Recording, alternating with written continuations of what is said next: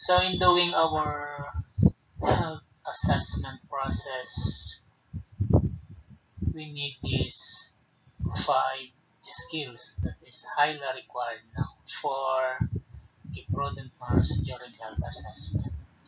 So you must have these following skills. One is cognitive. Cognitive issues by nurses when it comes to clinical decision making and critical thinking approach. So speaking of critical thinking, the questions what, how, and why.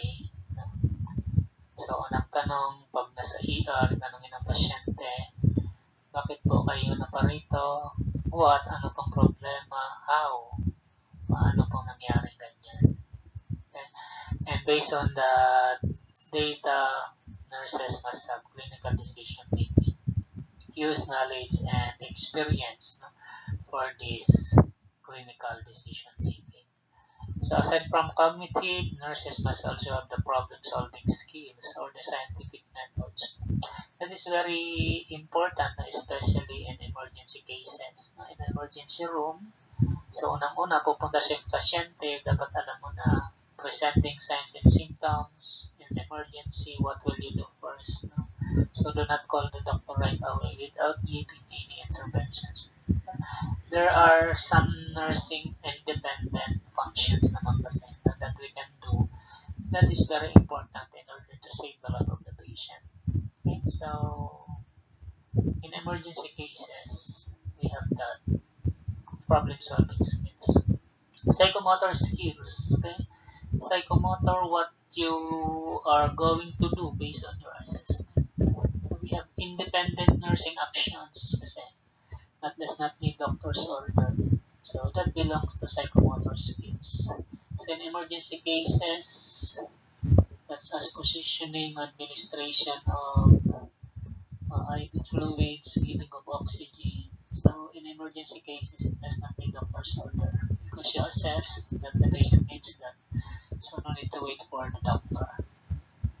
Affective skills, these are interpersonal skills that trust and mutual respect to your patient. So, kung laging, kung magkaaway kayo ng pasyente, so these skills might be affected. Dapat you have developed the trust, the trust of the patient towards you so that you can proceed with your assessment without any hindrances. And, of course, towards the process of healing on the part of the patient. Ethical skills, responsible and accountable for your practice. So this includes your professionalism. So be professional no, when it comes to dealing with your patients. Because those patients, sometimes they are very particular of the attitude us nurses and at the same time those other members of the health team. So be accountable for that, be responsible, talk to the patient in a professional manner because that is your ethical skills.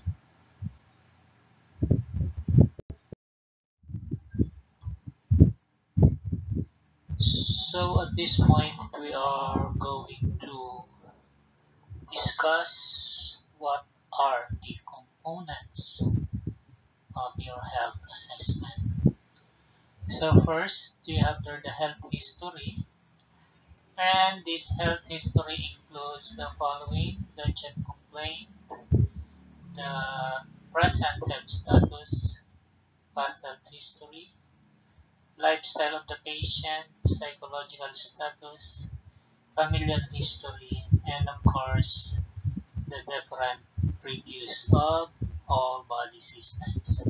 So the main purpose of obtaining health history is no other than providing us with a description of the patient's symptoms and how does it develop. So by taking the health history, malalaman natin what is the possible disease that is developed by the patient based on the presenting signs and symptoms that we are going to take during interview with the patient.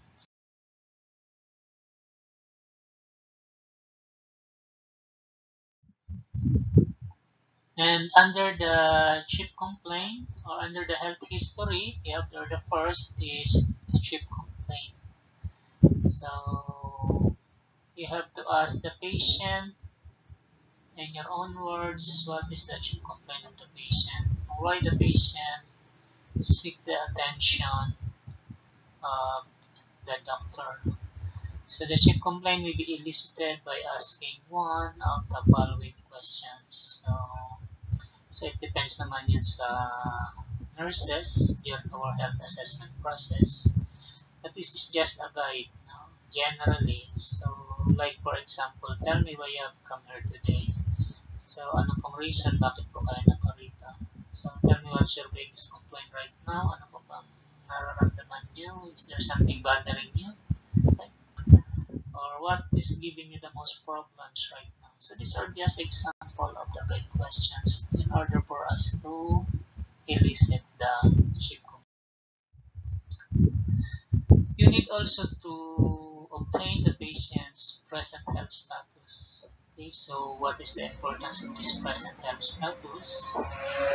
They might be correlated with the patient previous health status or the present health status of the patient might be the cause why the patient is suffering the present ailments that he or she has now. So for the present health status, you have to obtain information by allowing or allowing us nurses to investigate the current complaints. So be guided by PQRST in the patient's complaint of pain. So utilize a structured format for information gathering, including evaluation of pain. Use also PQRST to assess each symptoms and after any intervention to evaluate any changes or responses to so aside from the present health history, also obtain the patient's past history. So what is the importance of this past history of the patient? So this might be an important factor for us to elicit to elicit information about the patient's childhood illnesses and immunizations, previous hospitalizations needles allergies, and other chronic illnesses. So this past history might be might be one, if not the major cause, might be one of the cause why the patient is suffering is present illness. so for women, you can also obtain past history about childbirth, uh, menstrual cycle. Usually if the patients or female patient complains in relation to reproductive uh, disorders or abnormalities. Childhood illness. So childhood illness is very important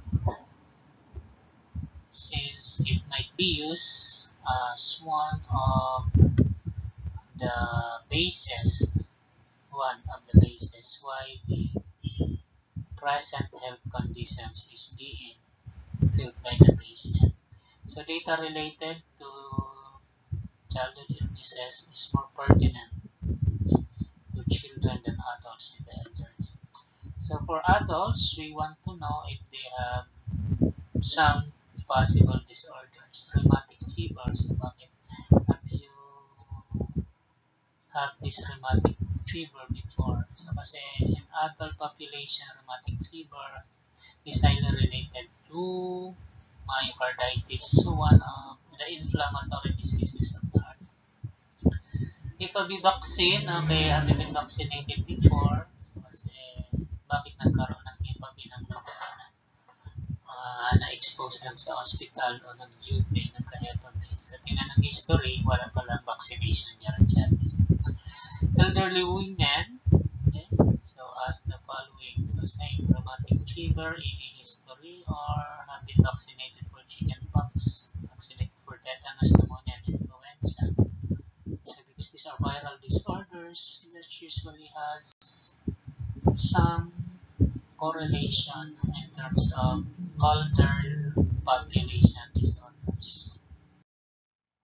Okay, still as part of history taking, need to ask the patient regarding previous accidents or traumatic histories or traumatic injuries. In assessing this past history, eh, it can give us some informations and pay particular attention to the patterns of injury, especially in infants and children and women. See, we have patterns of injury when it comes to patients who are physically abused. And it is very different from the patterns of injury that is normally occurred during any accident or traumatic injuries. Hospitalizations, we need to ask previous hospitalization from the patient. Be sure to ask the reason, nature of treatment, ano bang ginawa or bakit na hospitals. And remember to include hospitalizations during childbirth. Next is the surgeries or surgical procedures. So being sure to ask the patient if he or she has undergone some major or minor surgeries prior to hospitalizations. We should also ask in addition to hospitalizations, as sometimes the patient may not require or may not discuss this if surgery is not associated is not associated with the hospital stay. Then psychiatric or mental illness is also very important if patient has psychiatric history or mental illness.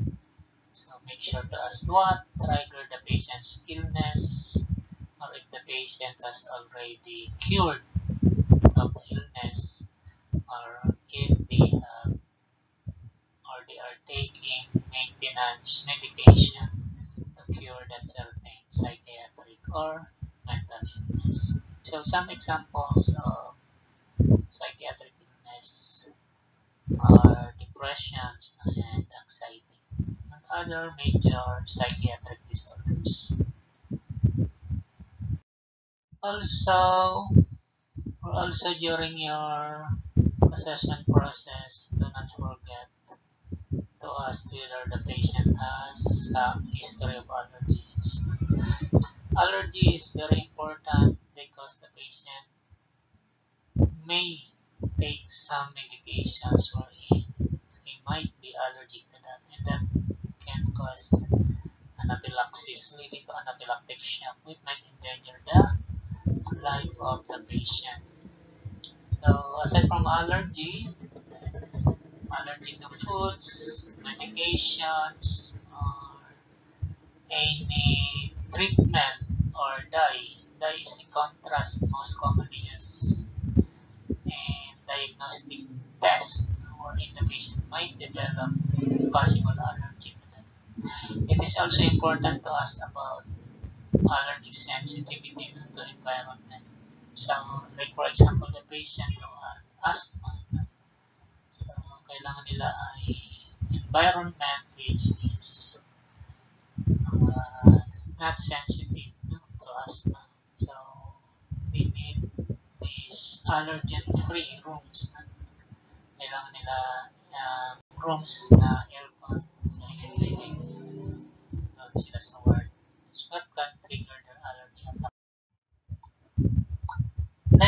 the family history. So during our assessment process, we try to take into consideration the family history. So as we all know, there are lots of chronic illnesses, chronic illnesses which are related to familial tendency. So in other words, there are diseases that can be acquired with a higher percentage of familial history. These are chronic diseases involve cancer, diabetes, autoimmune disorders, uh, heart diseases, hypertension, mental illness, mental disorders. So these are some of the chronic illnesses with a high possibility that the patients can obtain this because of familial history. So these are also applicable with home or generations that includes grandparents, parents, and children of the patient.